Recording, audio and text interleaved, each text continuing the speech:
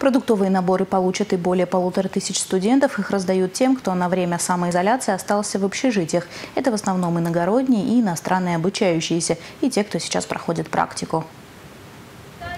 В пятикилограммовые наборы первой необходимости вошли крупы, макароны, консервы и сладости. Всего сформировано 1500 пакетов. Их раздают волонтеры. В течение трех дней социальную поддержку от Чувашского госуниверситета получат студенты более 10 общежитий.